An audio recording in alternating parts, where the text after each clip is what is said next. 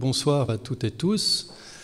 Euh, je m'appelle Julien Vosner, je suis le responsable du service de l'urbanisme de la ville d'Yverdon-les-Bains.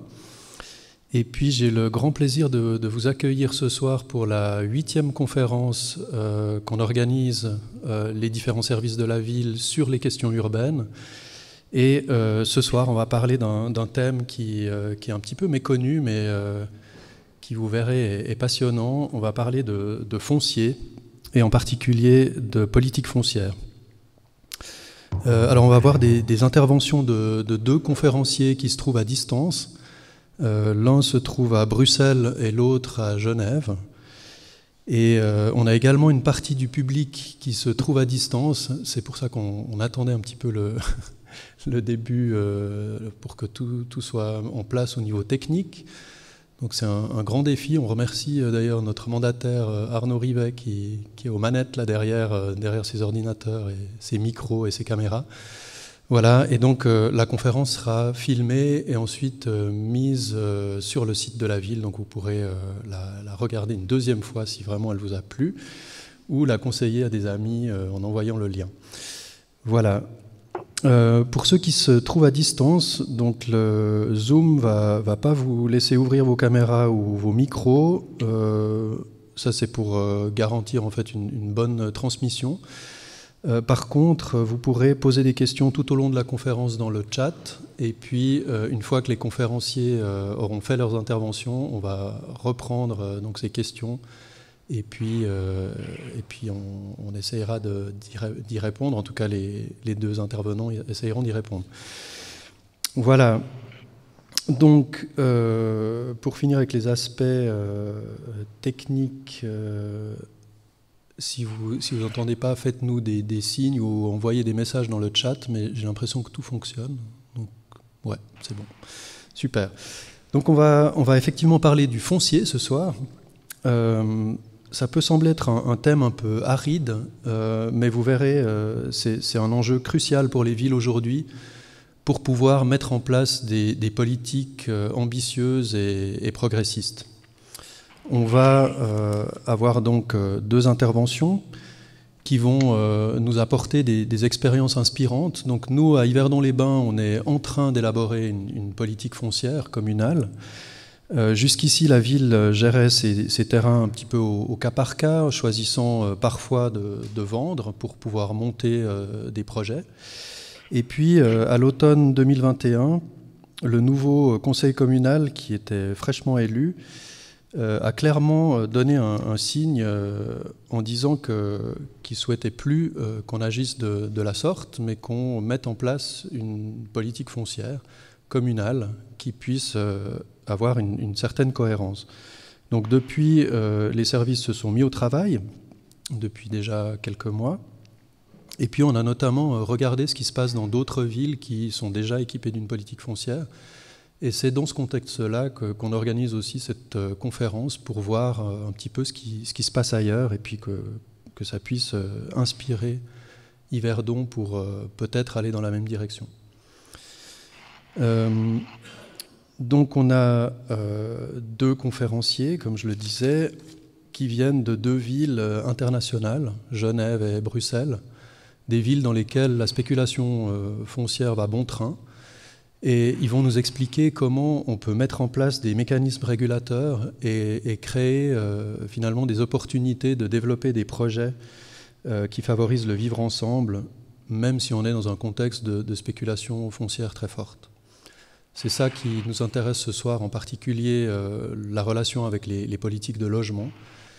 Et euh, je ne vais pas trop rallonger euh, cette introduction et donner plutôt la parole à notre premier intervenant qui s'appelle Thomas Davance, voilà, qui nous parle de, Bruxelles, et puis qui va nous parler d'un modèle bien particulier de, de gestion du foncier qui est le Community Land Trust. Je ne vais pas essayer de le définir moi, c'est lui qui va le faire. Euh, Thomas Davance est doctorant à l'université Vrije de Bruxelles en géographie et sciences de l'éducation. Il est architecte, sociologue de formation. Il a également été chargé de projets au, sein du Community Land Trust de Bruxelles, le CLTB. et puis il a été conseiller du secrétaire d'État bruxellois au logement. Il est engagé au sein de plusieurs associations qui luttent pour le droit au logement, et puis il va nous présenter ses principes de fonctionnement du CLTB, donc du Community Land Trust Bruxelles, ainsi qu'un développement initié récemment grâce au projet européen Calico, qui articule les modalités de gestion foncière participative et antispéculative du CLTB à la gestion des logements sociaux par des coopératives de logement associatives. Voilà, tout un programme qui s'annonce passionnant. Donc, euh, sans plus tarder, je vous passe la parole. Merci beaucoup. Merci beaucoup. Est-ce que vous m'entendez bien? Ok. Eh bien, euh, je, vais sans tarder partager mon écran pour pouvoir euh, vous présenter le PowerPoint que, que j'ai préparé. Je vous remercie vraiment beaucoup pour l'invitation. Je suis très content de pouvoir euh, échanger avec mes homologues suisses, vaudois. Et voilà, je vais donc. On a 20 minutes, donc je vais essayer d'être dense et vous présenter d'abord le Community Trust et puis effectivement des derniers développements qui, qui rentrent en dialogue avec le, les coopératives de logement et donc qui sont peut-être intéressantes aussi par rapport à votre histoire assez riche en matière d'histoire coopérative. Donc d'abord, qu'est-ce que c'est le Community Land Trust? Donc c'est un modèle qui est initialement américain, qui a été développé en 69. Le premier Community Land Trust date de 69. Il a été peaufiné par le cousin de Martin Luther King dans, dans ce contexte de, de, lutte pour les droits civils des, des Noirs aux États-Unis. Et à l'époque, ça a été la première ferme autogérée par une communauté de personnes afrodescendantes aux États-Unis. Et puis par la suite, en rencontrant notamment les mouvements d'ouvriers chrétiens, il est devenu un modèle de reprendre en main les ghettos noirs qui dégradaient avec des problèmes de, de, de toxicomanie et de vampirisme, etc., pour pouvoir réinstaurer vraiment un élan de reprise en main de ces quartiers par les communautés noires qui les habitaient. Il a une longue histoire euh, d'héritage euh, théorique derrière.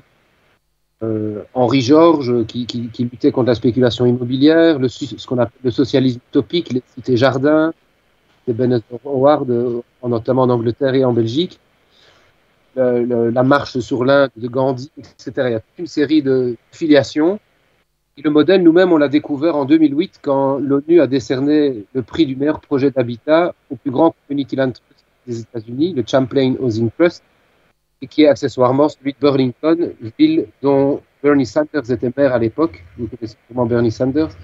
C'est lui qui, comme sénateur, par la suite, a inscrit les community land trusts dans la loi américaine. Plus tard, en 2016, un autre community land trust, plutôt dans le contexte de ce qu'on appellerait les villes euh, informelles du Sud, a reçu lui-même le prix du meilleur projet d'habitat. Et je dois dire qu'en décembre de l'an dernier, le Community Land Trust de Bruxelles a à son tour reçu le prix du meilleur projet d'habitat. Ce qui veut dire que notre projet est intéressant dans le contexte de son déploiement en Europe et qui montre de manière générale que les Community Land Trust qui ont été primés quatre fois en 15 ans hein, euh, sont effectivement un modèle qui, à l'échelle vraiment planétaire, euh, pas mal d'intérêt. Là, vous avez la référence d'un bouquin qui vient d'être réalisé, On Common Ground, qui reprend un peu l'histoire de tous les développements des community land dans le monde. Et effectivement, depuis 2008, il y en a qui se développent en Angleterre, en Australie, au Canada, en Allemagne, aux Pays-Bas, en France, un peu partout. Alors, comment est-ce que ça fonctionne, ce, modèle? Il y a ici, vous voyez trois principes sur le slide. Le premier principe, c'est que la terre ne devrait pas faire l'objet d'une appropriation individuelle et donc d'une spéculation source d'injustice mais devrait toujours servir aux intérêts des communautés humaines qui sont sur cette planète et sur cette terre. Donc, le Community Land Trust a comme principe d'acquérir des terrains et de jamais plus les revendre au marché privé. Et donc, de veiller à ce que, perpétuellement, ils soient accessibles aux besoins des communautés. Pour le faire, pour ce faire, il faut organiser un démembrement de la propriété du sol, de la propriété du pays, à travers ce qu'on appelle le droit de superficie, une paille amphithéotique que vous avez également en, en Suisse, et donc vont être conférés aux propriétaires, c'est-à-dire aux bénéficiaires du droit de superficie bail amphithéotique, la propriété des briques, en fixant à travers ce bail de longue durée quelques clauses qui vont quelque part organiser la balance entre les intérêts collectifs et les intérêts individuels, en réduisant un peu la puissance du droit de propriété et permettant justement de réguler euh, des, principes qui, permettent de garantir quand même l'intérêt collectif. Par exemple, on peut faire hériter, mais en ligne directe. On peut pas faire hériter à Amnesty International son bien, sinon c'est le community interest qui récupère le bien à On peut, euh, on peut l'occuper, mais on ne peut pas le mettre à, le louer, à devenir bailleur et commencer à faire un bénéfice dessus. Euh, euh, voilà, les enfants peuvent l'avoir, mais ils doivent l'occuper ou alors le revendre au community trust. il y a comme ça toute une série de principes et le principal, c'est le point 2, c'est la fameuse formule de revente anti-spéculative lorsque la personne qui aurait acquis un, terrain, un, bâtiment euh, ou un logement sur ces terrains, eh bien, il se soumette à des clauses anti-spéculatives. Je vais développer dans la slide suivante. Et je vous présente rapidement le troisième enjeu. Je vous disais que c'est une forme de gestion en commun de la terre, Community Land Trust. Hein. Et ça se matérialise comment? Ben, Dans un conseil d'administration qui est composé de trois types d'acteurs différents, pour chaque fois un tiers, qui organise une balance, une espèce d'égalité entre trois types d'acteurs. Les pouvoirs publics qui représentent l'intérêt général, les habitants ou les occupants de ces terrains qui bénéficient de, la mise à disposition de ces terrains, et un tiers de la société civile, c'est-à-dire les, gens qui, par exemple, la, la commune, qui ne sont pas la municipalité, qui ne sont pas directement dans, bénéficiaires du projet, mais qui ont eux aussi un mot à dire quand même sur les besoins locaux et, peut-être orienter les, futurs investissements qui seraient faits par ce communauté-là. Et donc c'est comme ça qu'est matérialisée cette balance. On n'est pas dans un projet majorité publique, un projet à majorité strictement privée. On est dans un système qui organise, c'est comme ça que le bien commun est garanti. Je vous parlais de la formule de revente, la voici. Elle est un peu technique, je vais essayer d'être euh, synthétique. Dans notre contexte européen, on a des politiques du logement dans le temps ambitieuses, même si aujourd'hui euh, l'argent euh, disparaît au niveau de la gestion publique. Et l'idée, c'est que ce sont les pouvoirs publics qui donne environ 33% de la valeur d'une opération qui correspond quelque part au foncier, c'est-à-dire à, l'achat du terrain, et le, le community land trust de cet argent pour pouvoir acquérir le terrain. Ça, c'est la partie inférieure, sur la ligne horizontale, c'est la, subvention qui va être donnée au community land trust pour acheter le terrain et ensuite permettre de revendre sans impacter le prix de cette subvention obtenue et du prix foncier à un ménage. Donc, on a un premier prix d'achat que vous voyez représenté dans la première colonne pour une première famille. Et puis, disons, nous sommes dix ans plus tard, les prix ont vachement augmenté à Bruxelles et il y a, au moment de revente, plus-value qui, existe. Bien valait peut-être 150 000 et là, soudainement, il en vaut 210. On va calculer cette plus-value de 60 000 euros et la personne qui revend va pouvoir récupérer 25% de cette plus-value. Et les, les, les 75 autres eux, vont être vente au suivant. Et c'est ce qui résulte dans la troisième colonne. En fait, le, le deuxième ménage, il achète au même prix que le premier, plus les 25% plus-value qu'il a risqué au premier. Et donc, quand son bien à lui valait 210 000 euros, mais il l'achète peut-être 110 000. Donc, quelque part, il est presque encore plus euh, avantageux dix ans plus tard. Donc, c'est un système qui permet, par rapport au logement social, gestion publique, de permettre un accès à la propriété et donc une épargne, une capitalisation mais qui permet malgré tout, vente en revente, à faire en sorte qu'il soit accessible de génération en génération à des ménages à faible revenu. Donc ça, c'est un peu la, la quadrature du cercle, cette formule de revente. Dans le système bruxellois, et ça, on a priori les seuls à le faire, aussi divisé en quatre catégories de revenus, allant du plafond d'accès au logement social jusqu'au revenu d'insertion vraiment minimum, c'est vraiment les, personnes les, plus précarisées de notre société, sans parler des sans-papiers, des sans-droits et, autres, mais dans les gens soutenus euh, par les Donc, on va diviser ça en quatre catégories de revenus, ce qu'on appelle A, B, C, D. Et on va vendre des logements identiques à des prix différents en fonction des revenus. Parce qu'il est entendu qu'un ménage précaire pas payer plus que, disons, environ 30% de ses revenus dans le logement. Parce que si on lui, donnait accès à la propriété, mais qu'il devait payer 80% de ses revenus dans le logement, au moindre faux pas, c'est un mauvais cadeau. Il se retrouverait séduit et endetté. Donc, l'idée, c'est de faire en sorte qu'on puisse vendre à des prix qui correspondent plus ou moins à 30% de leurs revenus à des gens en fonction de leurs revenus. on va vendre des appartements euh, identiques à des prix différents. Rentre pas plus dans le détail, mais ça permet donc dans chaque projet, on va, imaginons, on a 12 logements à mettre en vente, et eh bien on va donner 3 à la a, 3 à la catégorie B, 3 à la catégorie C, 3 à la catégorie D. Donc nous, on a eu une subvention globale et on va moins faire bénéficier cette subvention globale aux plus riches, aux plus aisés, en leur offrant à peut-être 10% en dessous du budget. Mais par contre, on va vendre à moitié prix à ceux qui sont les plus précaires. Un autre aspect très important du travail du Community Land Trust, c'est la participation, c'est le fait que c'est vraiment un mouvement qui se veut ancrer dans l'émancipation communautaire, à la fois individuelle, mais aussi euh, d'esprit de communauté, en quelque sorte, des gens qui, qui vont. Ça, repose sur toute une série de méthodologies d'accompagnement euh, des habitants, et fondamentalement sur créer les groupes avant de développer le projet. Et donc, euh, les gens participent à des réunions, de rencontres pendant deux, trois ans de processus, tout le temps de la construction. Ça leur permet de se connaître, d'apprendre à se connaître, de se reconnaître comme voisin avant de l'être, parce qu'au départ, ce sont des gens qui sont quelque part sur les listes d'attente du logement social, pas nécessairement la fibre euh, de rentrer dans des projets à caractère collectif. Et donc, on va essayer de les accompagner là-dedans. Et les, différentes formations et moments conviviaux vont se retrouver euh, autour de l'apprentissage de qu'est-ce que c'est la gestion de propriété, l'apprentissage de, la gestion des, techniques d'un bâtiment, de découverte du quartier pour détruire un certain nombre de repères, d'un accompagnement individuel des habitants pour être sûr qu'ils ne décrochent pas sur le processus de formation du groupe, et euh, de gestion de groupe, euh, littéralement en termes de communication non violente, de prise de décision, etc. Donc, tout ce processus fait qu'ils appartiennent vraiment à une espèce de communauté de membres plutôt que d'être simplement sur une liste d'attente d'une politique publique.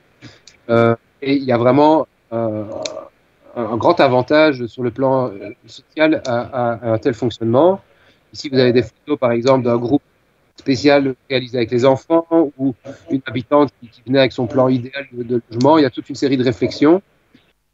Dans le temps, on organisait carrément un cahier des charges publiques pour la mise en œuvre euh, où on demandait aux habitants leurs recommandations pour les inscrire dans le cahier des charges. Ça faisait qu'on fermait les groupes tellement en amont que ça prenait parfois 5, 6, 7 ans avant que les gens arrivent dans le bâtiment. C'était vraiment trop fatigant pour eux.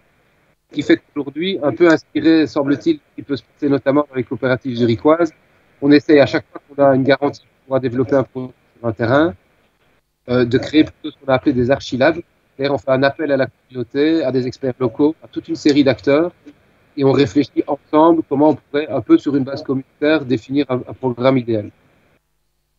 Ici, c'est pour vous montrer qu'en 10 ans, on a quand même fait beaucoup de choses. On a simplement 104 familles logées, 5 projets réalisés, et de l'argent pour 5 projets supplémentaires.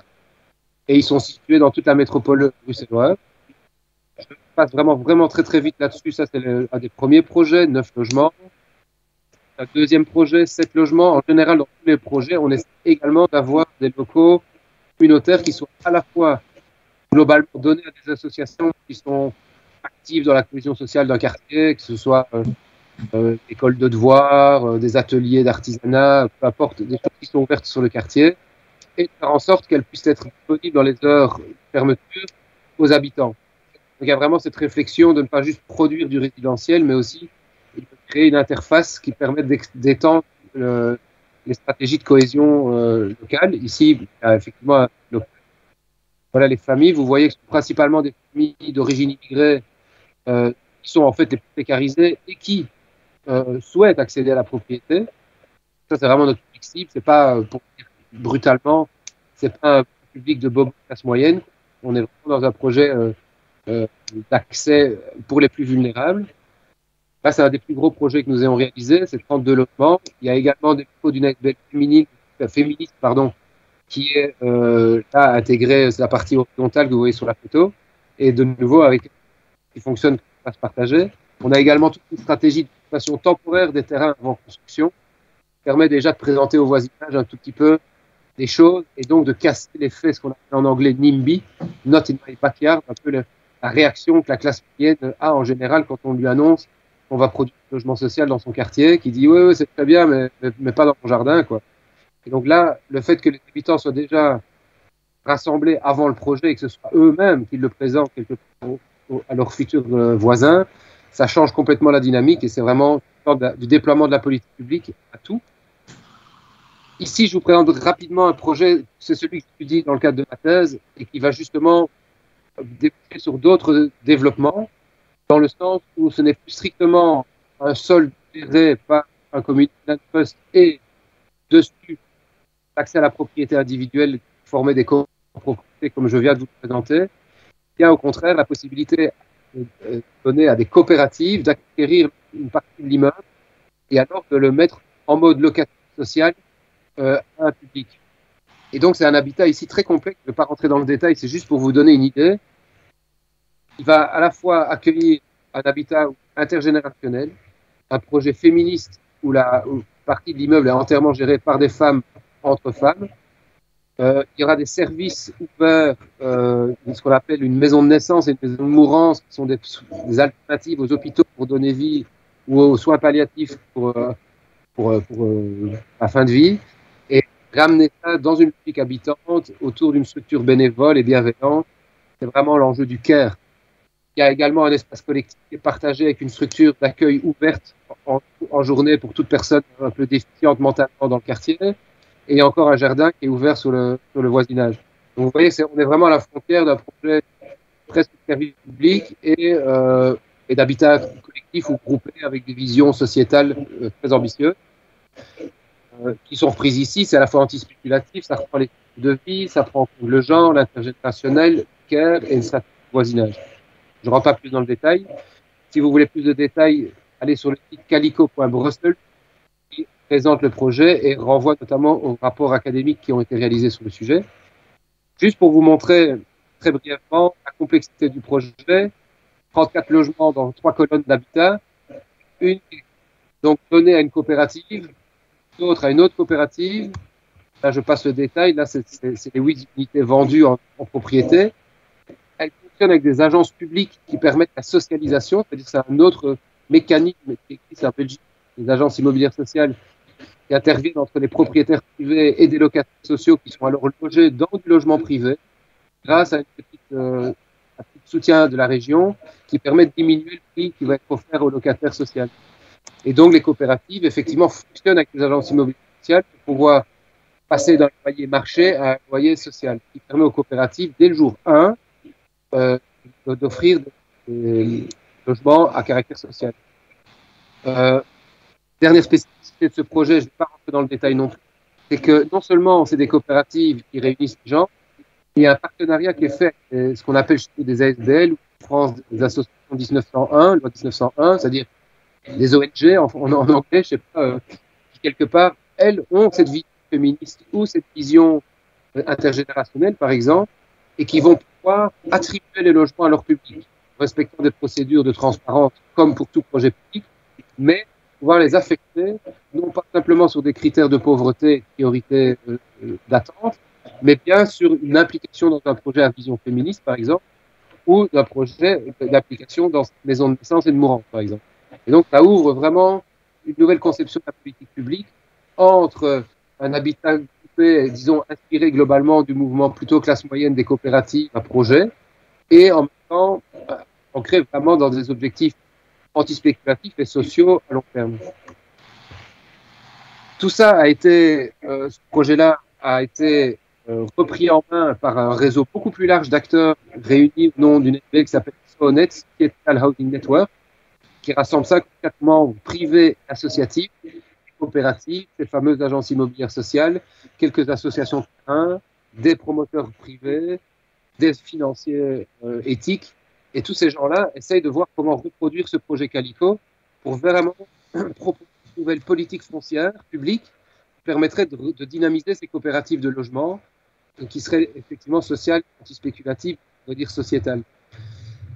Donc, je ne rentre pas dans le détail, mais ici, je, me permets quand même juste encore de présenter brièvement euh, le, fonctionnement un peu synthétisé de ce qu'on a appelé du coup Housing Deal, qui est une forme de simplification de ce projet Calico que je viens de vous présenter plus en détail. Un premier niveau qui est donc la propriété du foncier, qui soit reste au pouvoir public, soit est donné grâce à une subvention publique à un community land trust.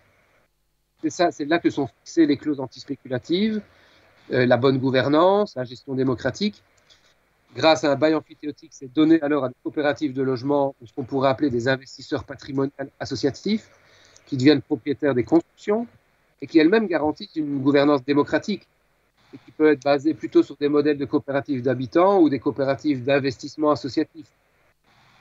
Ça permet d'aller chercher de l'argent privé euh, la finance éthique, et ça permet, même sur des terrains publics, de partir en maîtrise d'ouvrage privé, parce qu'à Bruxelles, la maîtrise d'ouvrage public et les marchés publics sont d'une telle complexité qu'aujourd'hui, ça ralentit, si ce n'est pas, ça fait carrément office capté, ça coûte plus cher, des projets développés dans ce cadre-là.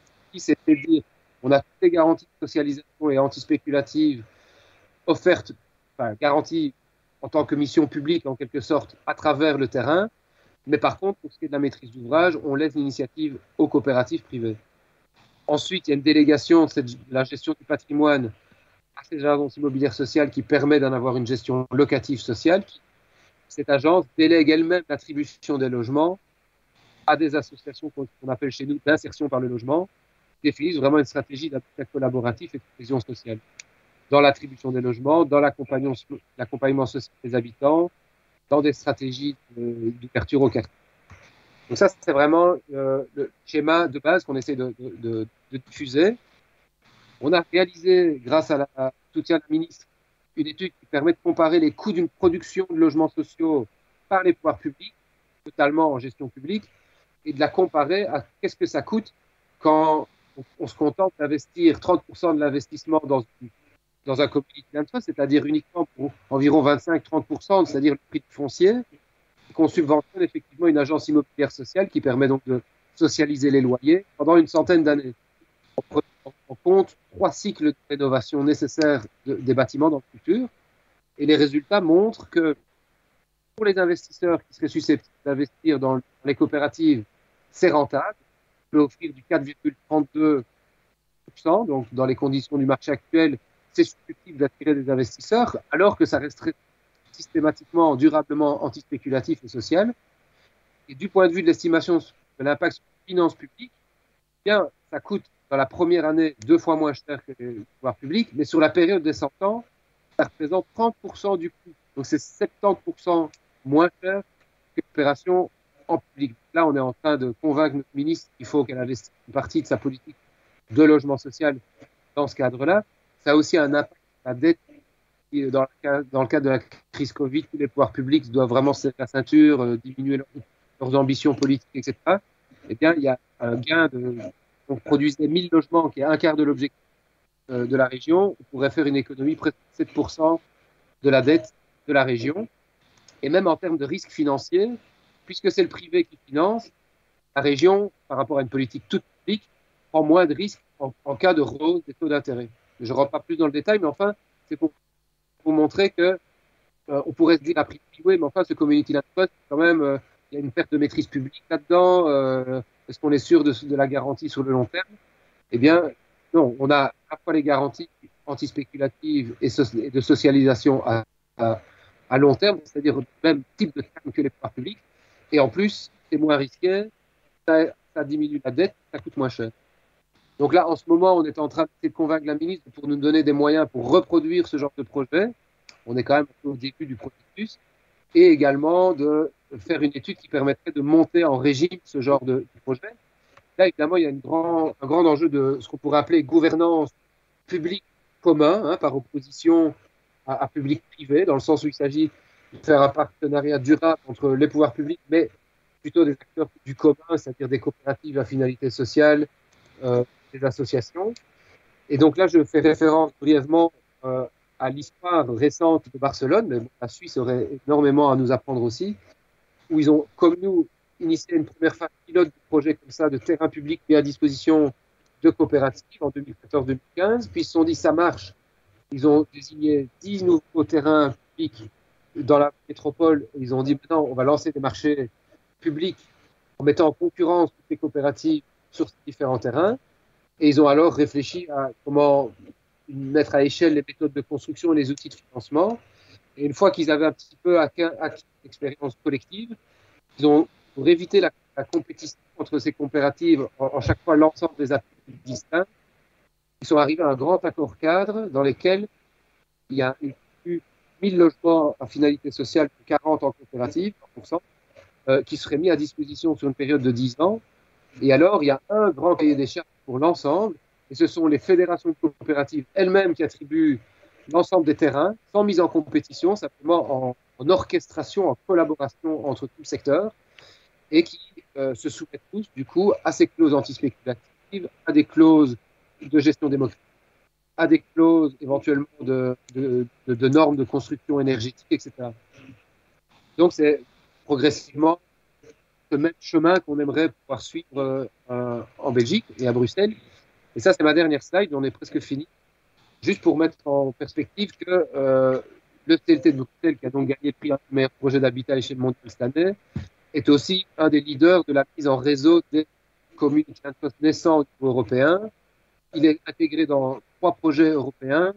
Il a organisé plusieurs conférences internationales. Il y en aura d'ailleurs encore une en, octobre. Pour le, on a défini collectivement au niveau mondial un jour des CLT. Je pense que de mémoire, c'est le 28 euh, octobre. Et euh, voilà, il est, quelque part soutenu. Et donc, il y a, vraiment un enjeu de se poser euh, dans, sa reproduction européenne. Est-ce que justement cette articulation publique, enfin d'investissement public dans un community land trust pour soutenir l'émergence de coopératives, si ce n'est pas une voie euh, de futur qui pourrait euh, notamment euh, inspirer vos pratiques également en Suisse. Je vous remercie pour votre attention et je vais arrêter le partage de mon écran si je trouve bien comment faire. Merci beaucoup Thomas. Très dense hein, cette présentation. On va, on va avoir des questions certainement à la fin de, de, la présentation du deuxième euh, conférencier qui donc euh, s'appelle Guillaume Kayser et qui travaille pour la coopérative euh, d'habitat associatif, donc la CODA, dont il est le, vice-président. Et il est également membre du conseil de la fondation de la FPLC, la Fondation pour la promotion du logement bon marché et de l'habitat coopératif. Il est actif depuis 20 ans dans le développement des coopératives dans les, régions des cantons de Genève et du canton de Vaud. Et puis il va nous présenter euh, d'une part le, fonctionnement de la CODA, en partageant le, les expériences genevoises et vaudoises, et puis euh, également nous parler de la FPLC, cette fondation pour la promotion du, du logement bon marché et de l'habitat coopératif. Euh, dans ces, différentes organisations, bah, il y a aussi une, réflexion sur la lutte contre la spéculation immobilière et puis sur la manière dont on peut favoriser des logements abordables dans un contexte hautement spéculatif. Alors bienvenue, merci beaucoup, et puis euh, je, vous, laisse la parole et on, prendra euh, les questions euh, tout à la fin. bonsoir à, toutes et à tous, merci pour, l'invitation, et merci Thomas pour cette présentation, je trouve que c'est super intéressant et, super inspirant de, confronter, enfin de comparer aussi des, des réflexions qui sont proches et qui sont menées dans des dans des géographies différentes et avec des histoires un petit peu, un petit peu différentes. Alors, euh, ce que j'ai prévu euh, ce soir, c'est de partir plutôt de, du résultat de ce que peut produire une politique foncière euh, qui cherche la qualité du, du, bâti et qui cherche le, lien social. Donc, le fait d'avoir des terrains en main public peut permettre ce débat et ce type de projet. Donc, je vais commencer par vous présenter assez brièvement euh, la, la, CODA, puisqu'en fait, les réalisations de la CODA sont euh, le résultat de ce, qui est rendu possible par une politique foncière euh, forte développée par les, pouvoirs publics. Et puis ensuite, vous parlez un peu plus de la question foncière du point de vue de la coopérative et puis de suggérer quelques pistes pour le futur. Donc, on peut passer à la slide suivante. Euh, voilà, donc la, la, CODA a été créée en, en 94 euh, dans une période euh, où la spéculation était assez forte, notamment à Genève, où il était aussi plus profitable de vendre euh, des immeubles vides. Donc, euh, beaucoup d'immeubles étaient vidés et leur valeur était ainsi euh, augmentée puisque les, acquéreurs avaient les coulées franches pour les transformer, notamment aussi en, bureaux. Et donc, c'était aussi une période où il y a eu pas mal de, squats et puis de lutte de mobilisation populaire contre la spéculation. Et c'est une des inspirations du, de la création de la CODA. Donc la CODA, on est, on est une coopérative d'habitation. Les coopératives, euh, c'est une forme qui existe en, Suisse depuis euh, le début du, du, XXe siècle, les plus anciennes 1919, 1900, 1920, et puis qui ont, beaucoup été utilisées pour faire du, logement locatif, du logement ouvrier, mais pensé par les élites, pensé par euh, les élites soit syndicales, soit euh, libérales, euh, et puis patronales, pour, pour loger dignement les, les ouvriers. On pense aussi à toutes les, il y a toute une tradition de coopératives issues des grandes régies fédérales, les chemins de fer fédéraux, la poste, certaines liées aussi à la compagnie suissaire, qui voulaient loger leurs, leurs ouvriers. Très schématiquement, et puis, il y a eu un, affaiblissement de la forme coopérative dans les années 60, 70, 80, avec une, plutôt une, une, montée en puissance des, des, promoteurs et puis des acteurs institutionnels. Et puis, les années 90, on voit un, renouveau du mouvement coopératif depuis les années 90 qui est basé aussi sur des idéaux. Puis là, on peut passer la, la slide suivante.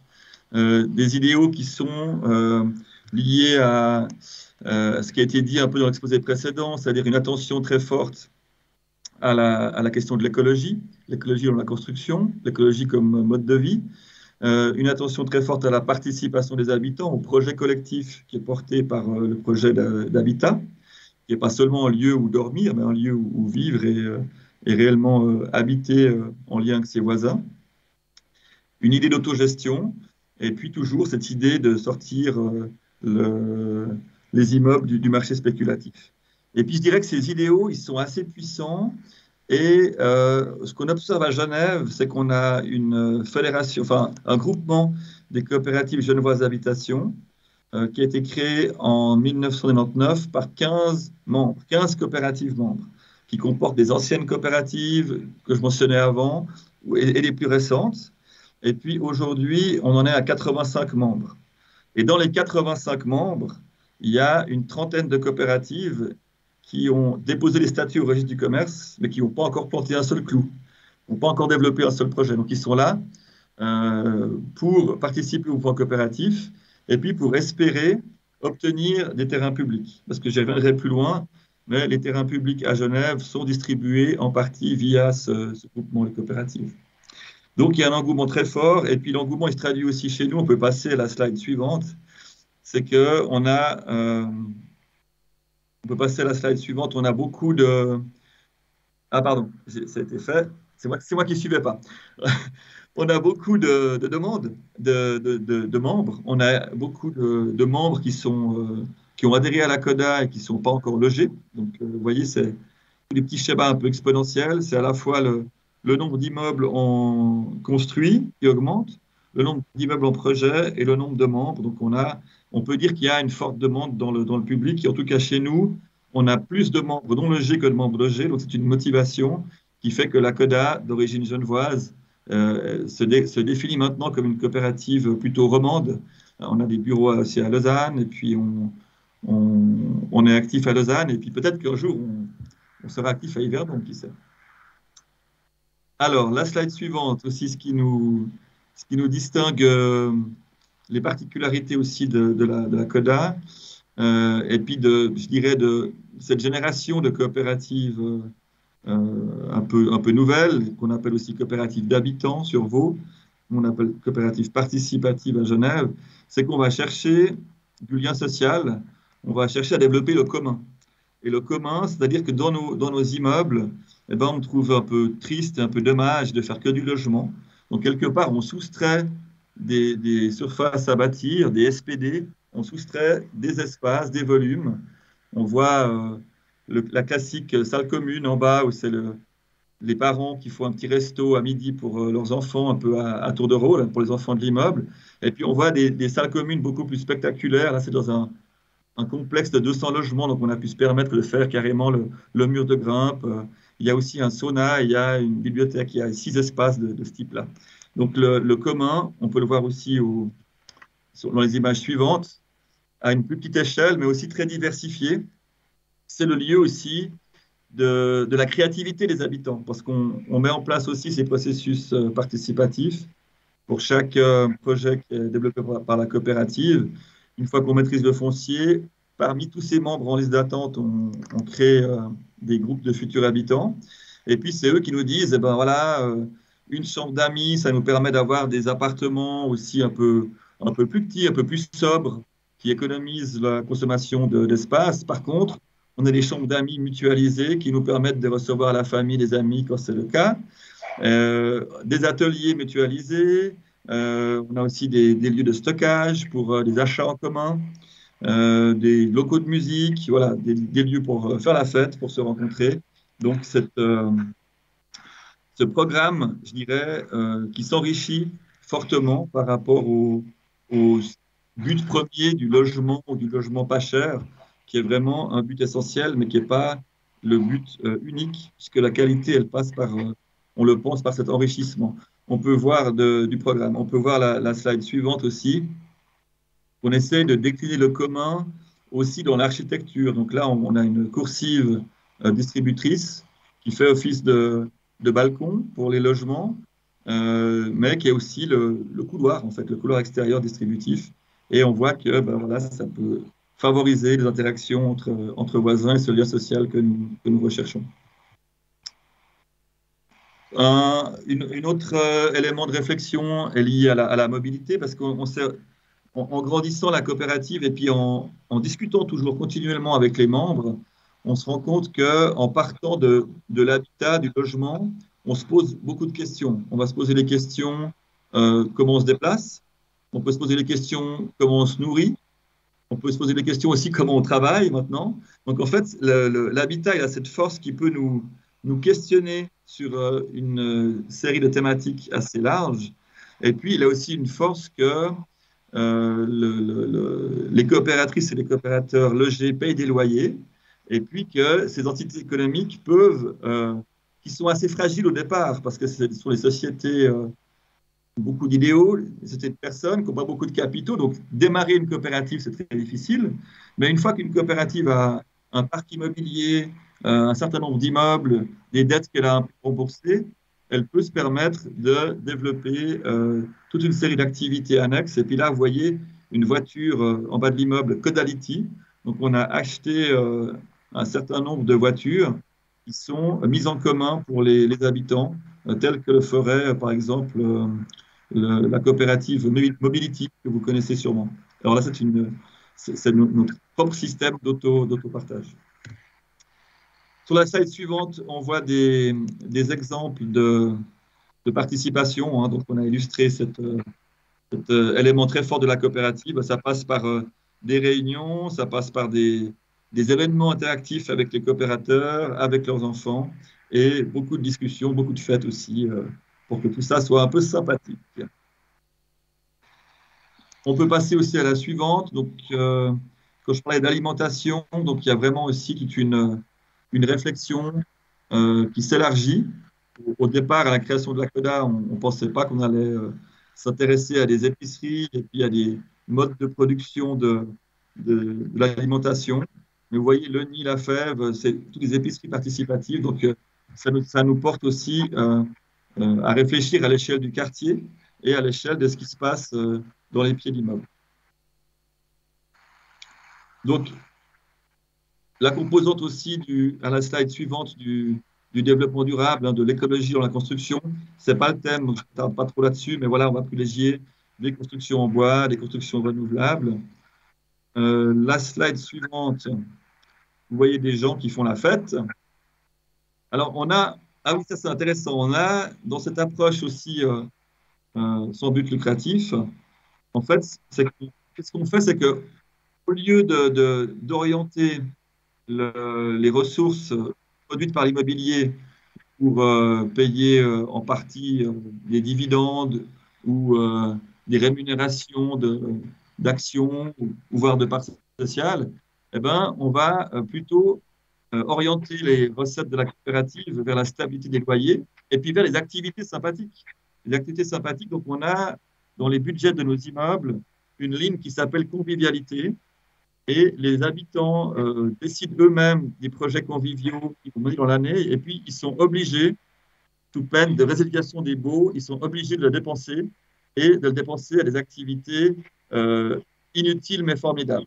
Donc, ils n'ont pas le droit de réparer des tuyaux avec cet argent.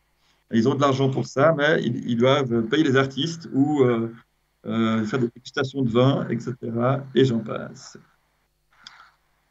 La slide suivante. Alors, cette fois, j'ai toute une petite série d'illustrations architecturales. Ce que je voulais montrer, celle-ci aussi, c'est un projet à Nyon qui est en livraison maintenant, en train d'être d'être habité. Et puis là, vous avez 135 logements, une crèche, deux grandes salles communes et une salle de quartier. Donc, la coopérative, elle peut marcher avec des immeubles de 10 logements, et c'est formidable, mais elle peut aussi être une réponse à des grands ensembles, et c'est aussi euh, assez intéressant.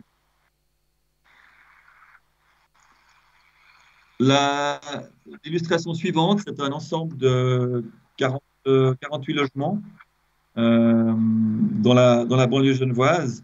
Et puisque l'image que vous voyez en haut à gauche, c'est une cage d'escalier. En fait, le, photographe est dans l'escalier.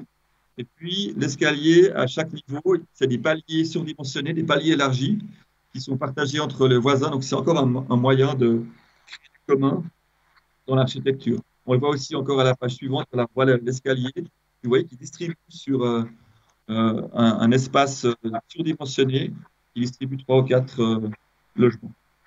J'avance un petit peu plus vite. Euh, la suivante. Cette fois, on est en terre vaudoise, on est à Praremont, euh, dans une échelle, vous voyez, tout à fait différente, au-dessus de, Lausanne. Et la suivante, c'est notre projet en, cours de chantier dans le grand quartier Métamorphose au, au plein du Loup. Alors, si j'en viens maintenant à la slide suivante, j'ai passé un peu la partie image et la partie coda pour revenir à un peu notre vision sur, euh, sur le foncier. Et puis, je vous ai mis deux, situations, deux citations, pardon, deux citations. Euh, la, première de, Gustave Flaubert, je voulais relever qu'elle euh, elle montre, que de longue date, la question foncière est une préoccupation il parle de troubles, donc on sait bien qu'il y a une tension. Et puis j'aime bien l'expression où il dit que la, vie est posée nulle part. Et ce que j'essaie de vous exposer dans la première partie, c'est que justement on essaye de trouver des, de créer des lieux où on peut poser la vie. Ça, résonnait assez bien avec cette, citation. Et Jean Jaurès, elle est un peu plus, euh, j'ai pas besoin de la commenter, mais elle est un peu plus directe. Mais c'est vrai que c'est la, propriété foncière peut être source de brutalité et d'inégalité. Voilà, donc on s'intéresse sur les, coopératives. On a affaire à des sociétés de personnes donc, qui vont mettre en avant euh, des idées, des idéaux, qui vont mettre en avant une gestion démocratique, puisqu'on va fonctionner avec un, un, membre, un vote. Donc on a à l'inverse une société de capitaux qui va fonctionner en fonction des capitaux amenés et qui va chercher à maximiser le rendement. Alors, les coopératives sont souvent de dimension réduite. Et puis, là où la question foncière est extrêmement importante, c'est pour les jeunes coopératives, parce que euh, quand on réunit un groupe de personnes, ben, comment est-ce qu'on fait pour accéder au foncier? Et puis, dans le contexte suisse, ben, généralement, le seul moyen, euh, à moins d'avoir un bienfaiteur privé, ben, c'est de s'adresser à, une commune. Pour les anciennes coopératives, c'est un peu différent. Les anciennes coopératives, elles ont euh, elles ont passablement remboursé leurs dettes, et puis elles peuvent euh, mener une politique de loyer qui reste du loyer abordable et qui est du loyer sans but lucratif. Mais euh, si elles sont un peu attentives à leur développement, elles peuvent aussi euh, constituer quelques fonds, quelques réserves qui leur permettent de développer de nouveaux projets. Et pas uniquement mettre baisser, le loyer au maximum pour simplement couvrir les coûts, mais s'empêcher de faire de nouveaux, projets. Alors, le, c'est un peu de banalité de, le dire, il faut quand même le rappeler. Pourquoi, on en parle aussi? C'est parce que c'est une, rareté. On vit une pénurie de, de terrains à bâtir euh, du fait de, la très grande demande de, l'augmentation de, la démographie euh, dans la région romande. Et puis, il y a aussi le, la LAT, hein, le vote de la, loi sur l'aménagement du territoire au niveau, au niveau suisse, qui renforce cette notion de, rareté du foncier. Donc, le foncier va se répartir basiquement soit en main privée, soit en main, publique.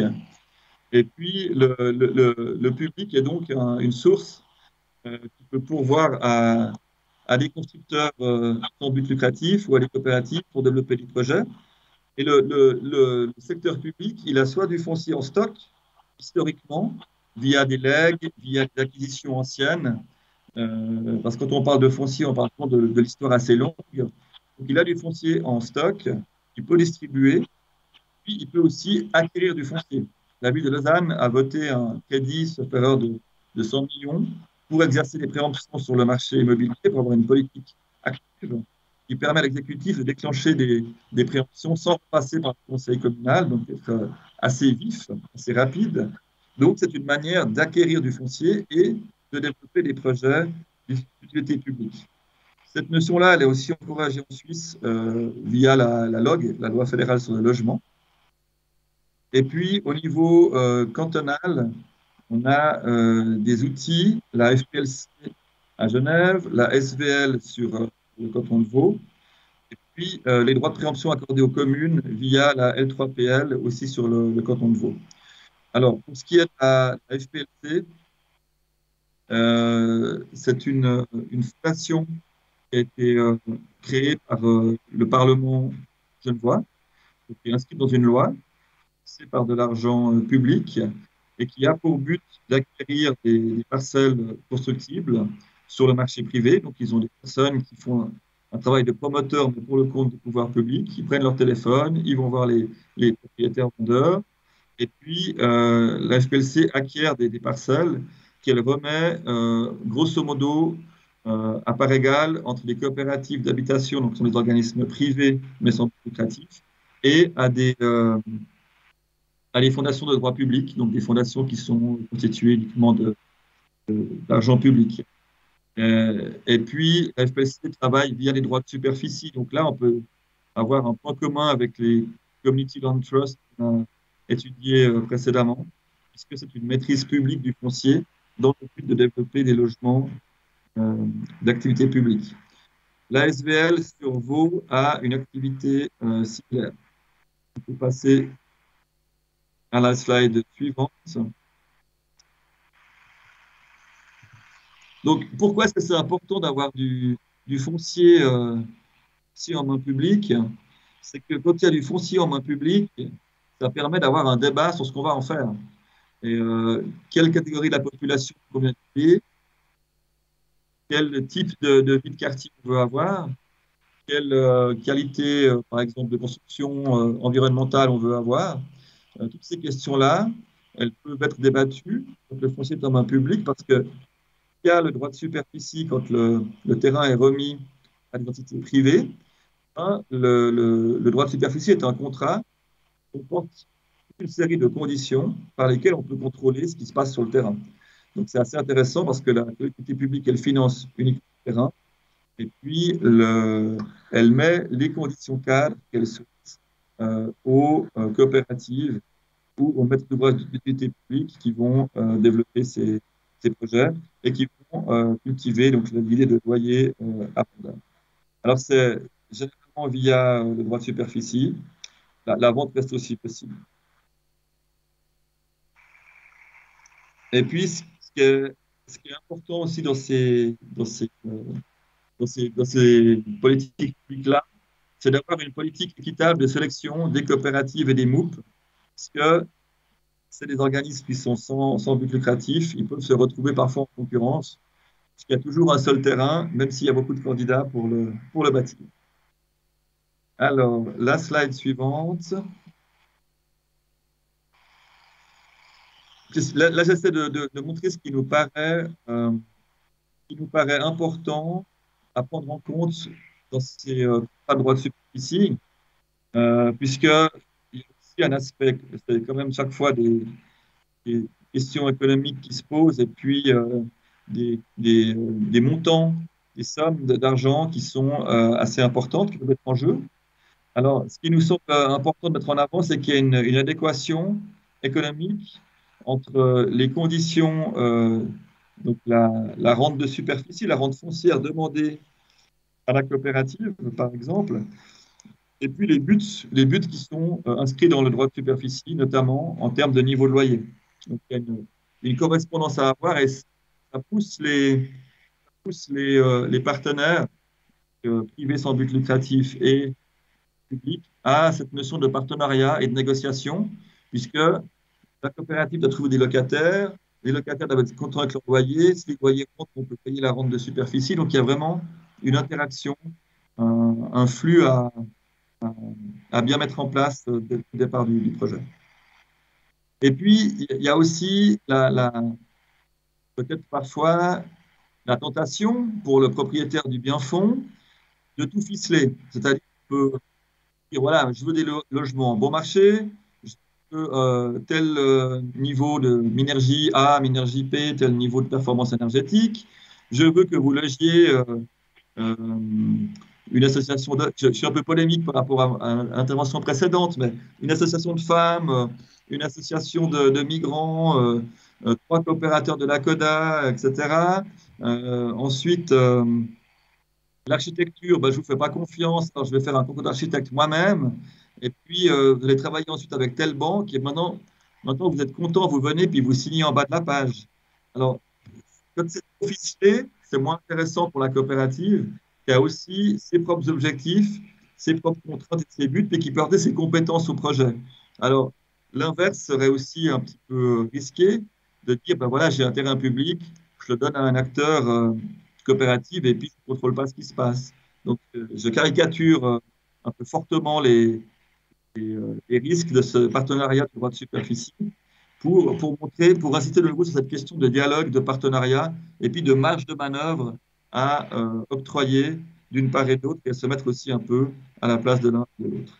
Et puis, je ne connaissais pas l'intervention de Thomas, mais j'avais déjà mentionné que euh, ailleurs, dans les pays anglo-saxons, mais aussi en Belgique, les Community Land Trust sont des, modèles cousins de, de ce qu'on pratique. Alors, pour, euh, pour arriver vers la, vers la conclusion, euh, vous avez compris que je mets beaucoup en avant euh, l'importance de développer ce type d'habitat et puis l'importance de l'accès au foncier. Et j'ai parlé des, des, pouvoirs publics et de la manière qui, avec laquelle ils peuvent agir sur le, sur le foncier. Mais on s'est aussi posé une question à, Genève et aussi un petit peu poussé par notre magistrat Antonio Hodgers qui nous a dit mais il faut arrêter de quémander, alors il nous provoque aussi peu, hein, mais il faut arrêter de quémander les terrains publics. Maintenant, les coopératives qui le peuvent, euh, vous devez appliquer vos buts qui sont de sortir les immeubles du marché spéculatif. Euh, donc, transformez-vous en promoteur, promoteur sans but lucratif et puis essayez d'aller vous-même acheter les terrains. Alors, du côté de la CODA, on s'est dit qu'on allait relever le défi et puis qu'on essayait de, de, faire des acquisitions par nous-mêmes. C'est quelque chose qu'on a, qu'on a commencé à mettre en œuvre. Et puis, notamment, on s'est rendu compte que le terrain coûtait cher. Et une manière aussi de, pouvoir l'acheter, c'est de faire des offres euh, aux, propriétaires. Et puis, on a développé un, élément qui est un peu aussi provocateur, c'est qu'on pouvait développer aussi une partie logement PPE sans les coopératives. Et là, on rejoint aussi le Community Land Trust parce que dans le, dis provocateur, c'est que dans l'image qu'on a en Suisse romande et même en Suisse en général de la coopérative, on pense plutôt logement cher et logement locatif. Et puis là, en amenant de la PPE, euh, on reste toujours dans le cadre son but lucratif, puisqu'on on, met les mêmes mécanismes euh, qui ont été présentés précédemment sur l'idée de, maîtriser la revente euh, à la plus-value, de maîtriser la plus-value de la revente, pardon. par contre, ça nous permet d'avoir déjà, de réaliser une, de réaliser assez loin une forme de mixité sociale, et puis d'avoir un public qui effectivement est prêt à payer plus. Et nous, on peut offrir des, euh, faire des offres plus attractives aux vendeurs de terrain. Et c'est quelque chose que nous vivons de manière extrêmement précise. C'est pas juste une idée, puisqu'on a, on a deux, opérations où on, est, euh, on a pu acheter des terrains en discussion avec des privés grâce à ce type de, de mécanisme qui nous permet de développer de l'habitat coopératif aussi, sans forcément dépendre de décisions de, pouvoir public.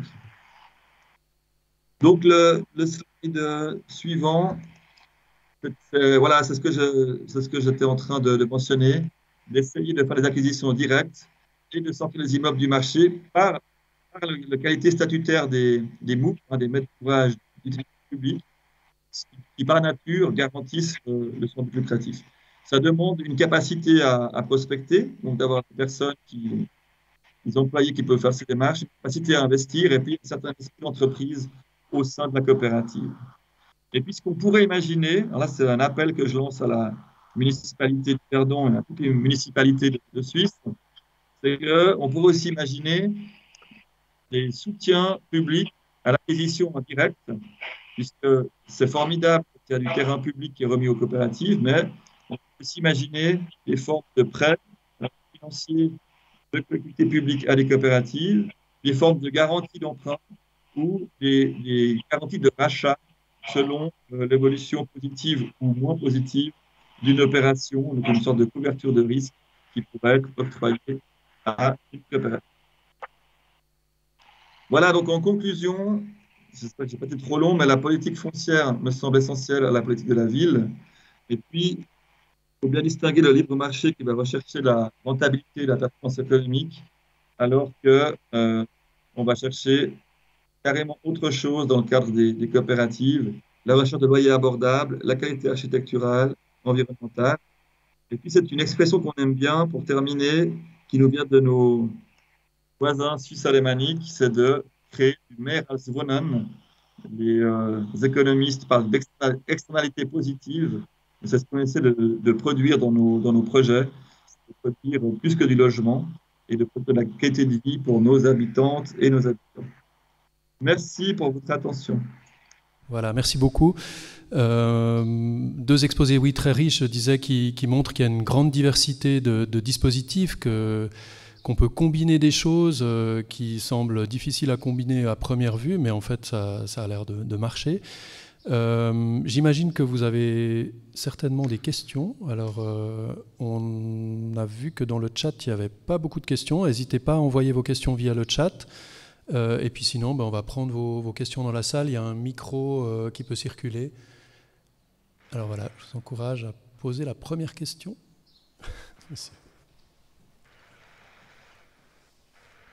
Bonsoir, Gaspard Janton, merci beaucoup pour les présentations. Je suis membre de la CODA. Et euh, la question que j'ai, c'est la question, c'est des projets qui sont très enthousiasmants. Euh, en tout cas, en Suisse, la difficulté qu'il y a, c'est que les personnes qui vivent notamment dans les coopératives d'habitants sont plutôt de la classe moyenne, voire de la classe moyenne, justement, comme il a été souligné, un peu bobo.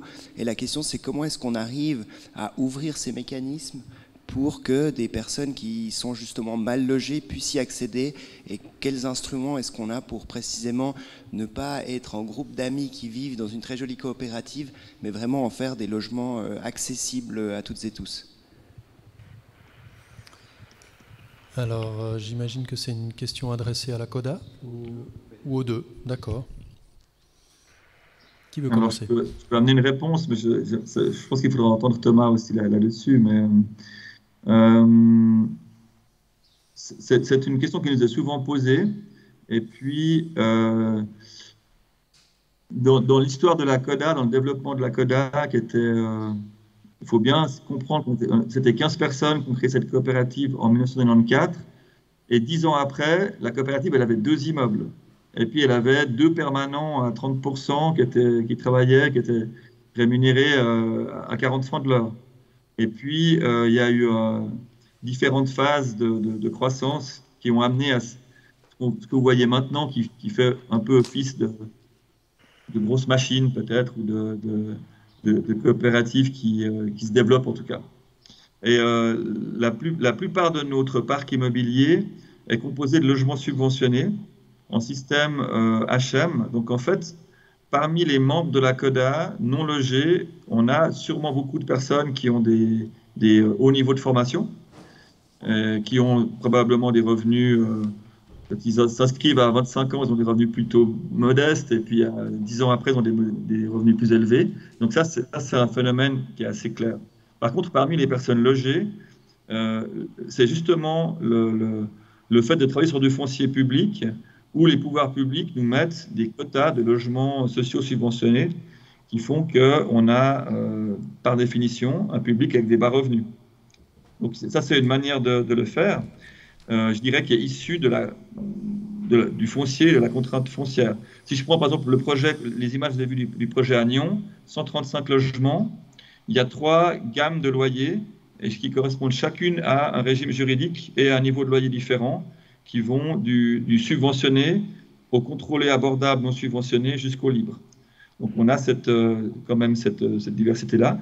Et puis il y a un autre élément, c'est qu'on a une réflexion aussi euh, volontaire, interne, au sein du comité qu'on est en train de mener, qui consiste tout bêtement à faire un petit peu ce qu'on a vu dans l'exposé de Thomas, c'est-à-dire à réserver des logements à des catégories précises identifiées.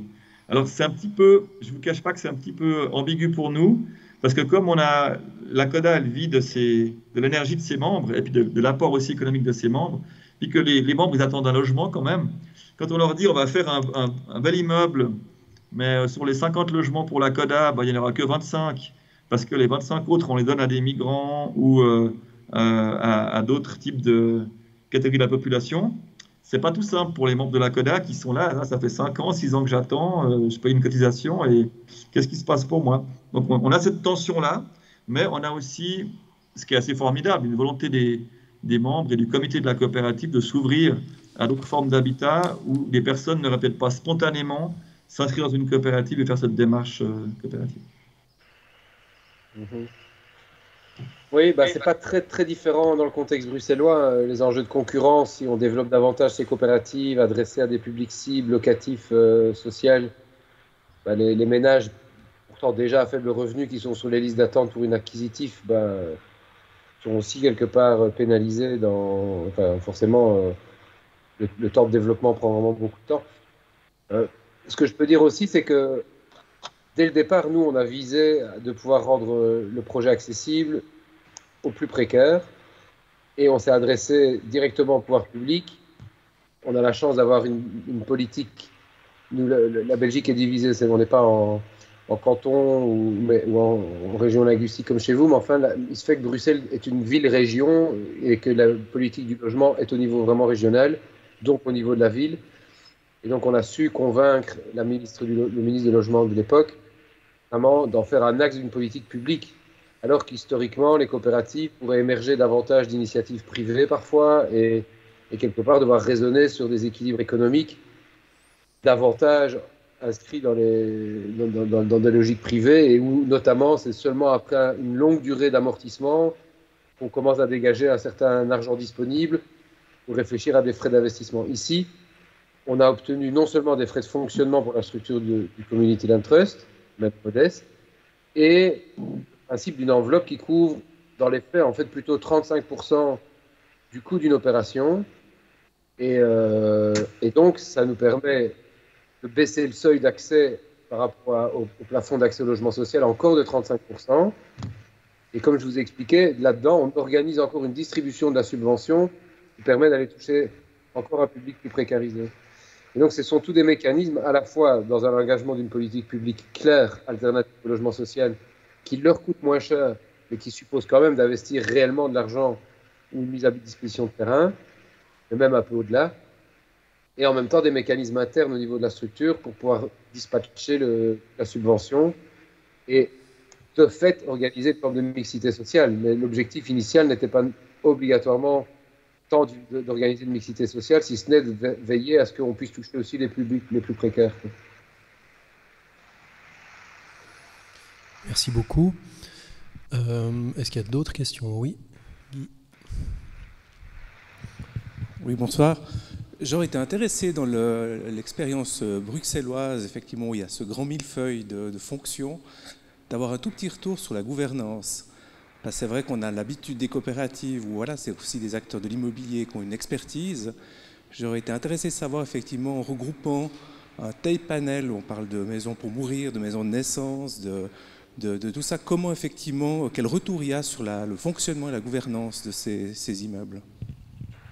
Oui, on n'a pas beaucoup de recul, vaste question. Ce que je peux en tout cas déjà dire, c'est que euh, malheureusement, les coopératives qui sont formées dans le cadre du projet pour financer l'achat euh, de la brique et organiser le projet, elles ont acquis l'immeuble, comme on appelle euh, chez nous, en, clé sur porte. C'est-à-dire que c'est malheureusement une nouvelle tendance des pouvoirs publics chez nous qui disent, au nom de la crise du logement, on a, et, vu la complexité des marchés publics qui est bien réelle, et de ce fameux réflexe de rejet des logements sociaux euh, produits même par le pouvoir public, qui fait qu'aujourd'hui, tous les opérateurs publics, pour environ, d'après mes calculs, un tiers de la production contemporaine, donc deux logements sociaux, un logement social sur trois va être produit en achetant directement clé sur porte à un promoteur qui l'a produit, qui lui, au lieu de le commercialiser à la pièce, va le vendre d'un seul coup à une société de logement social ou au Community Land Trust ou encore à d'autres opérateurs publics qui existent. Et donc là-dessus, ça veut dire que les coopératives, elles n'ont pas du tout développé euh, une maîtrise d'ouvrage. Et ça, il y en a quand même quelques-unes, mais vu que c'est très difficile pour des nouvelles coopératives d'émerger, euh, il est aussi difficile pour elles d'assurer directement toute la qualité de la maîtrise d'ouvrage innovante qui, qui soutiendrait euh, une autre vision de la conception, etc. Donc ça, c'est un défi qui est largement devant nous. Donc ça, c'est un aspect de la gouvernance. L'exemple qu'on vient de citer euh, du Calico, ben, c'est un achat clé sur porte. Donc c'est vraiment une gouvernance sur l'organisation de, de, la gestion du projet, mais pas tellement sur sa mise en œuvre. Et alors là, euh, c'était un projet vraiment pilote hein, qui était soutenu par le projet Urban Innovative Actions de la, de la Commission européenne. Et évidemment, on a, c'était un projet extrêmement complexe, 36 groupes de travail qui réunissaient 36 000 acteurs. Mais on peut dire quand même qu'à la sortie, se dégage un certain nombre de, que j'ai schématisé justement dans ma, dans ma slide, un certain nombre de procédures qui, elles, aujourd'hui, sont balisées. C'est-à-dire qu'on a trouvé comment le pouvoir public peut fixer un agenda au Community Land Trust, dans quel type de document, comment lui-même peut inscrire un certain nombre de clauses dans un bail amphithéotique ou un droit de superficie, qu'est-ce qui est attendu en termes de statut de la part des coopératives, qu'est-ce qui est attendu en termes de délégation euh, pour la socialisation, etc. Donc, il y a quand même de cette fabrique institutionnelle absolument complexe un certain nombre de lignes directrices qui ne devront plus être euh, revues.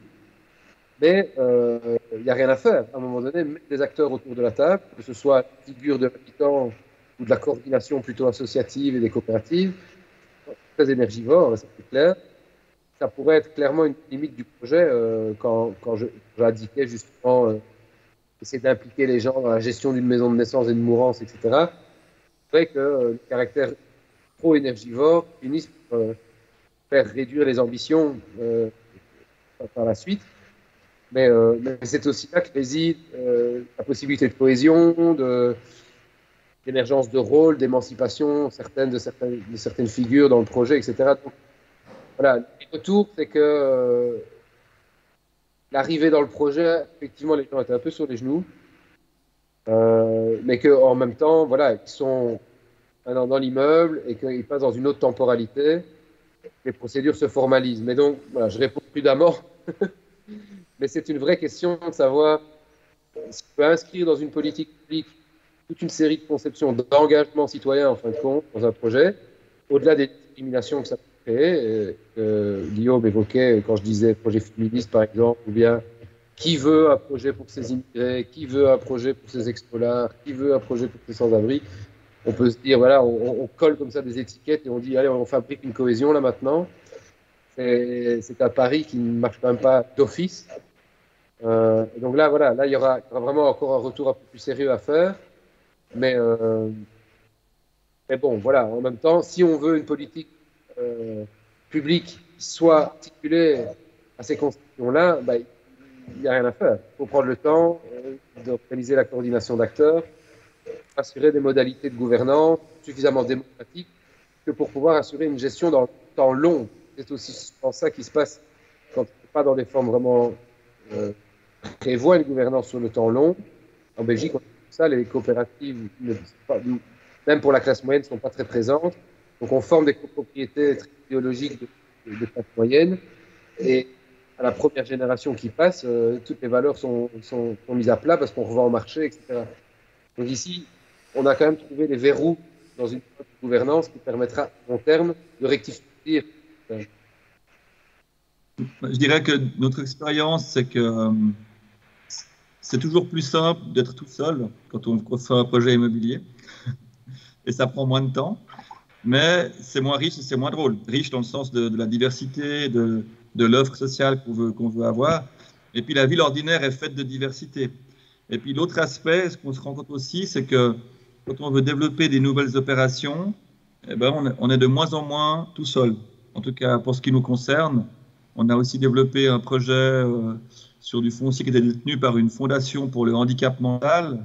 On a développé un projet de mixité avec eux. C'était aussi euh, très riche, mais assez compliqué.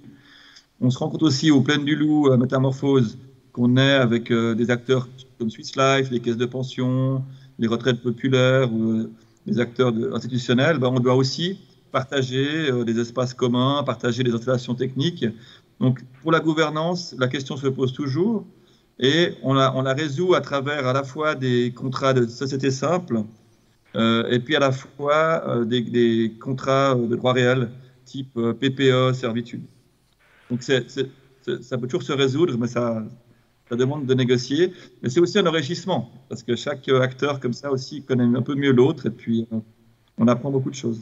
Oui, et je dirais même, et on se professionnalise dans le temps. C'est-à-dire qu'il y a toujours un premier essai, parce que la plupart de ces acteurs qui sont attachés à une certaine vision de développement de société ou à des publics cibles, hein, prenons le, handicap mental, ils ne sont pas professionnalisés au départ pour intervenir dans de l'immobilier. Pour eux, c'est toute une ils doivent adapter tout à fait leur méthodologie par rapport à l'idée de développer leur service en quelque sorte dans un cadre d'une conception d'habitat. Ils n'en connaissent pas les logiques financières, de gouvernance et autres. Mais voilà, une fois que le processus est établi, il y a des retours d'expérience et il y a une forme de, technicité qui s'acquiert et qui fait que, euh, que c'est tout le secteur qui, quelque part, euh, acquiert des connaissances qui feront que dans le futur, euh, les partenariats auront acquis des nouveaux mécanismes, etc. C'est un shift culturel, quoi, ça. Alors, on a une question dans le chat. La question, c'est quel type d'habitat construit la CODA? Nous avons vu des immeubles, mais y a-t-il également d'autres modèles? D'autres modèles que les immeubles D'autres modèles que les immeubles. Euh, on a construit euh, des grosses villas, on a construit des, petites villas, mais euh, ce, qu'on cherche, c'est une forme d'habitat collectif. Donc, euh, dans, nos, dans nos projets, on s'est mis un peu une jauge de faire le, le, le, plus petit projet devrait comporter une dizaine de logements et puis la possibilité de faire des lieux communs. Ça, c'est notre recette un peu de base et on ne veut pas transiger avec ça on ne peut pas aller plus bas. Après, la forme que prend ces logements, là, on est, très ouvert. On est très ouvert à ça. Euh, on a même étudié une fois un projet d'habitat sur des péniches, mais ça, c'est, je pense, le plus euh, exotique qu'on ait jamais étudié. Mais sinon, euh, ça reste quand même des immeubles ou des, ou des, maisons. Je ne sais pas si j'ai bien répondu à votre question. C'était ça la, question? Alors c'était une question en ligne, donc ah. on n'a pas l'interlocuteur dans la salle. Euh, par contre, je précise peut-être pour ceux qui sont en ligne que, les questions sont à poser via le, petit onglet Q et R, donc questions et réponses, et pas par l'onglet discussion. Peut-être que ça, a prêté à confusion parce qu'on n'a pas beaucoup de questions. Donc n'hésitez pas, c'est l'onglet qui se trouve tout à droite. Moi j'ai une question pour Thomas, je ne sais pas si j'ai le droit de la poser. oui, oui, c'est autorisé. Tu vas participer comme un autre. Je n'ai pas compris si le, la part foncière du CLT, est-ce que les bénéficiaires des, des, acquéreurs, est-ce qu'ils la payent sous forme de rente annuelle ou est-ce qu'elle est, offerte par le, par le CLT Alors, il y a ce qu'on appelle un canon, hein, euh, qu'on a fixé à un prix un peu dérisoire de 10 euros, indexable, mais 10 euros par mois.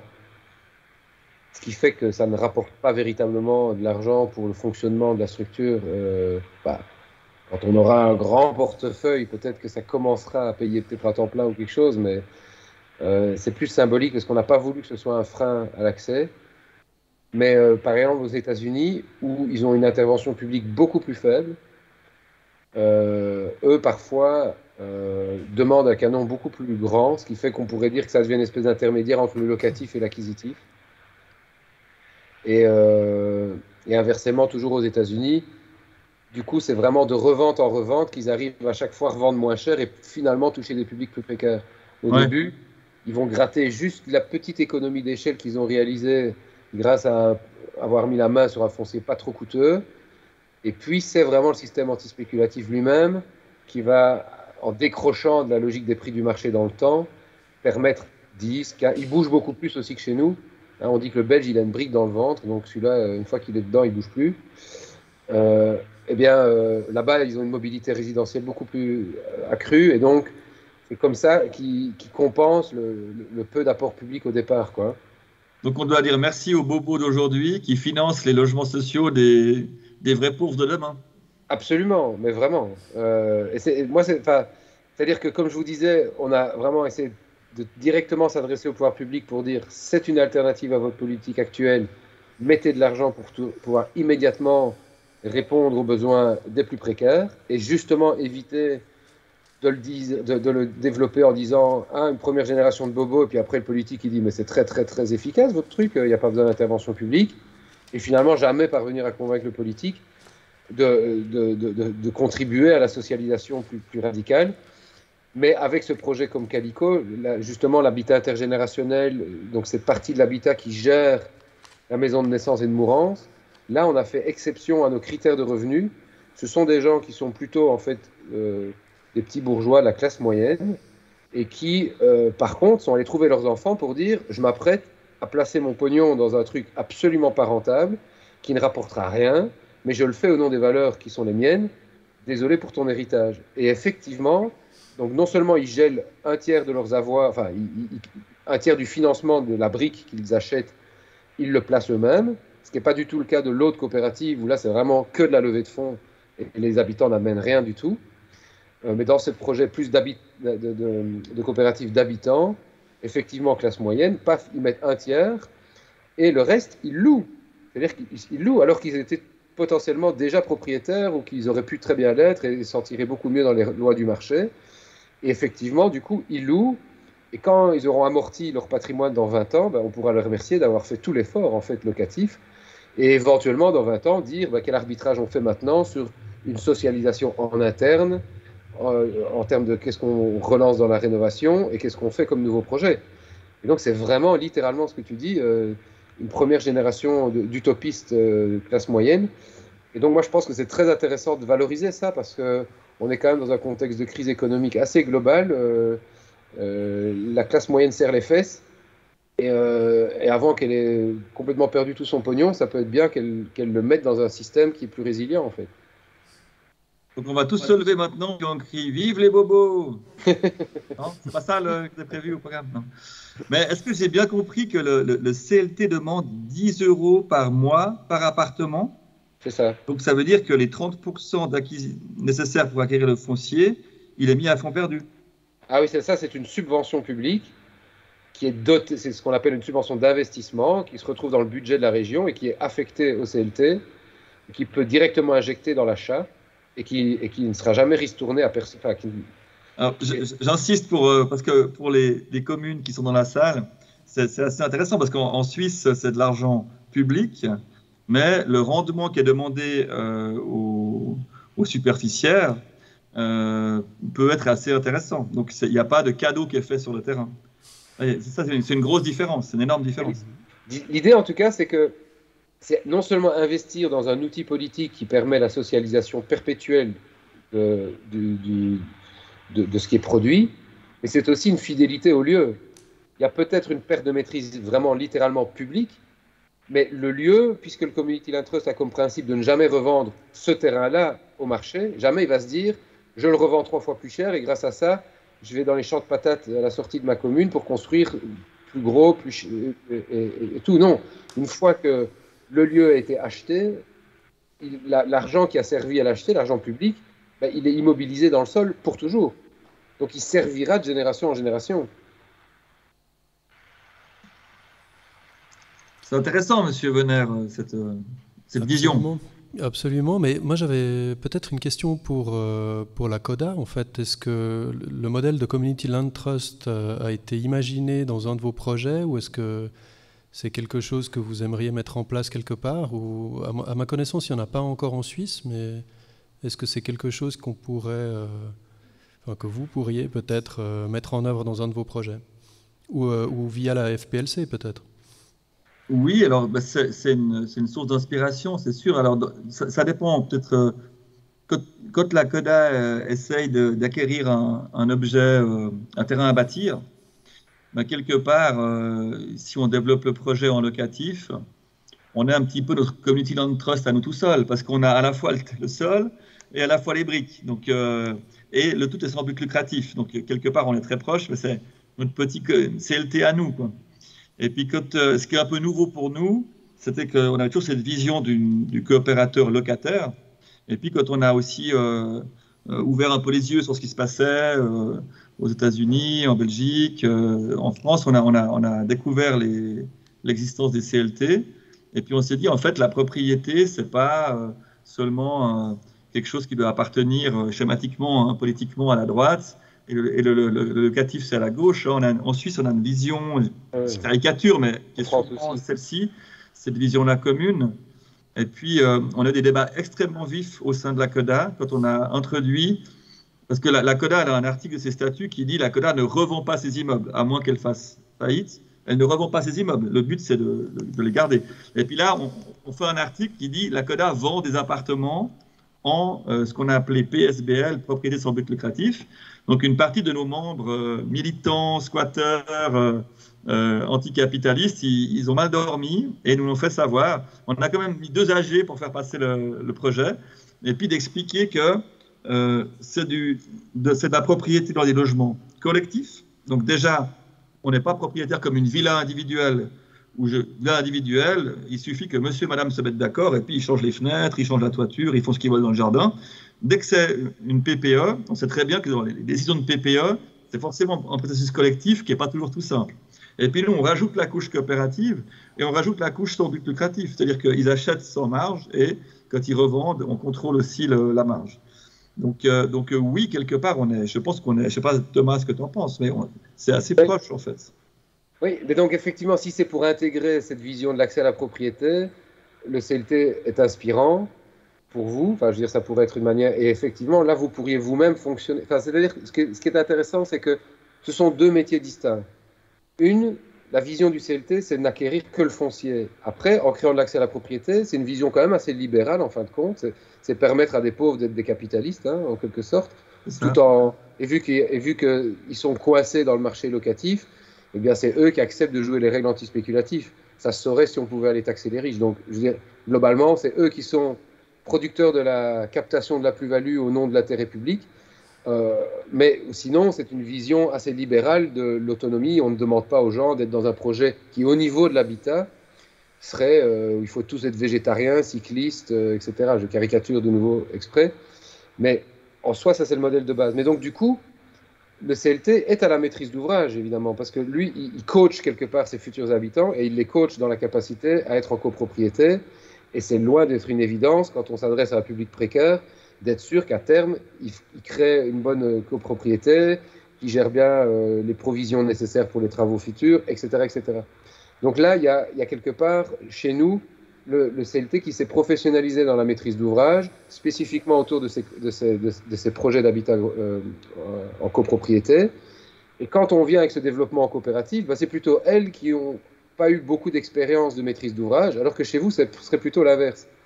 Et donc, chez nous, c'est le, CLT qui va aller coacher les nouvelles coopératives à rentrer dans le métier de la, de la, de la, de la maîtrise d'ouvrage et va dire bon voilà comment est-ce qu'on fonctionne à chacun son métier? Vous, c'est vraiment la gestion de l'immeuble. Nous, c'est des principes plus fondamentaux de gestion foncière. Alors que chez vous, ce sera peut-être l'inverse.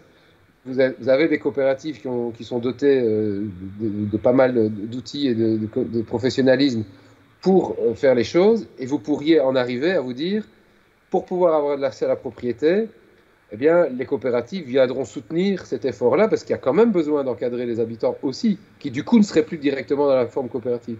Donc ça, c'est un élément de réponse, plus un peu dans le bouger institutionnel.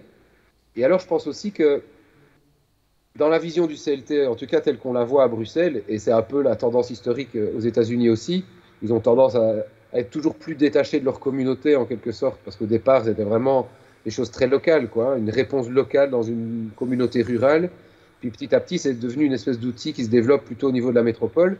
Et là, ça pourrait être intéressant pour vous aussi, où là, à ce moment-là, c'est les coopératives elles-mêmes, ils disent on va fédérer nos moyens pour que euh, on développe une certaine manière, une certaine relation dans la gestion du foncier, qui soit privée, avec des outils que tu as évoqués, euh, comment fait en sorte d'avoir des garanties publiques, par exemple, pour pouvoir permettre à ces acteurs d'acquérir des nouveaux terrains privés, ou dans la gestion des terrains publics, parce que les pouvoirs publics ne sont pas toujours très bien outillés eux-mêmes, c'est aussi technique à leur niveau, hein, toutes les clauses, etc.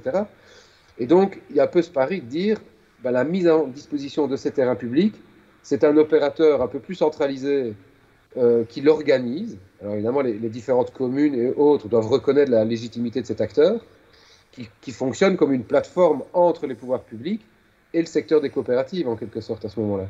Et qui, du coup, permet d'organiser, d'éviter des, effets de concurrence, euh, d'établir des priorités territoriales dans la mise à disposition des différents terrains publics ou, comme je le disais, de terrains éventuellement privés avec des, moyens publics qui sont clairement identifiés pour une manne d'acteurs. Et ça, c'est quelque chose qui peut-être par rapport à, la concurrence a priori qui peut exister dans vos coopératives, ça peut être une réflexion qui pourrait émerger aussi de la part du secteur coopératif pour dire, bah tiens, dans, euh, dans une espèce d'harmonisation de nos actions sur le plan territorial, formons-nous euh, en Community Land Trust pour pouvoir simplifier la relation institutionnelle avec les pouvoirs publics. Et, euh, et comme je te disais en privé tout à l'heure aussi, ce qui est intéressant, on a constaté par exemple au Canada que les coopératives, euh, face à la hausse des prix de la construction, etc., quand elles devaient rénover leurs biens, bah, parce qu'elles ne sont pas soutenues par le pouvoir public, elles devaient, euh, quelque part, dans le cadre de leur rénovation, s'adresser à un public plus, plus aisé. Et donc elles perdaient un certain nombre de leurs vocations sociales et ça les emmerdait bien, mais c'était juste parce qu'elles sont confrontées à des dures réalités du marché.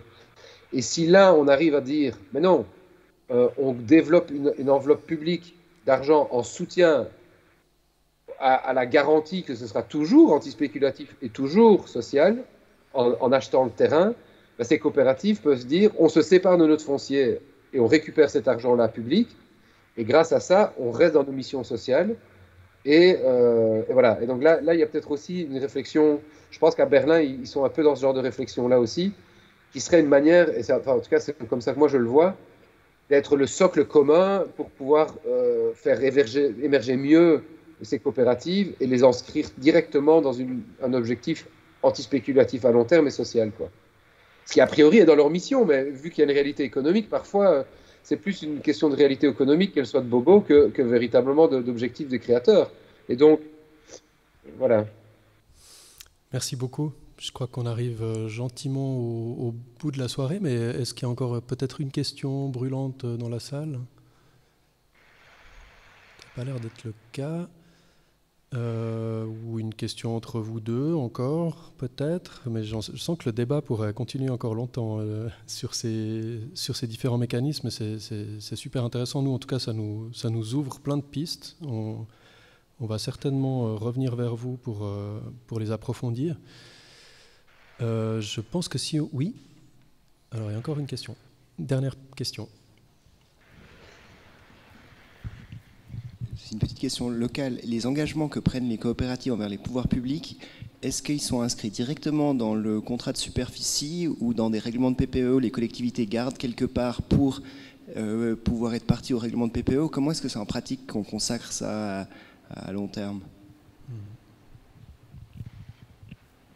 Alors, nous, on a, on a vécu deux types de il y, a soit les contrats de droit de superficie qui sont assez longs et assez précis, mais on doit quand même, c'est des contrats qui sont sur des très longues durées, donc on doit quand même garder une, forme de généralité.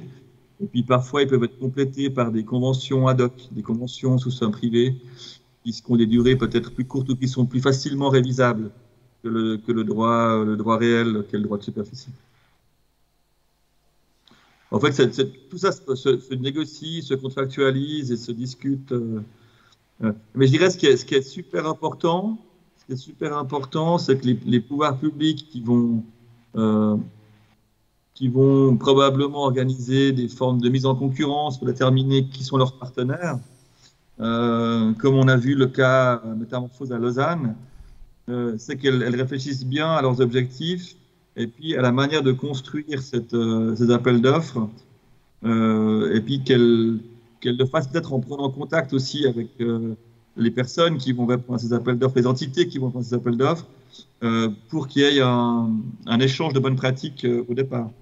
Parce que ça, c'est vrai que ça, selon l'appel d'offres est rédigé, selon les exigences, bon, vous aurez un type de réponse qui, sera euh, orienté d'une certaine manière ou, ou pas. Moi, j'ai répondu à des appels d'offres où le, seul critère, c'est combien vaut le terrain.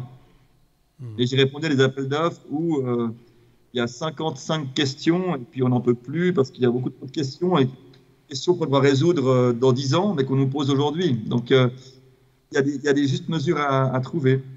Et, euh, et, puis quand c'est des grands ensembles, il y a toute une question de composition urbaine. Par exemple, à, Métamorphose, il y avait 1000 logements à attribuer, un potentiel de 1000 logements à attribuer quasiment d'un coup dans un seul processus. Et puis la ville a fragmenté ces 1000 logements en catégories, en sous-catégories. En fait, ils ont fait le travail qu'on a vu dans le Community Land Trust euh, avant, mais à l'échelle de 1000 logements. Il y avait beaucoup moins de, de de finesse et de nuances, mais ils ont déterminé les acteurs, aussi promoteurs, les acteurs caisses de pension, les acteurs coopératifs, des coopératives d'habitation, des coopératives traditionnelles, tout un mix qui, qui, amène une euh, diversité même dans la, dans la, production de la ville nouvelle. Donc, euh, je pense que cette étape-là, elle, elle est super importante.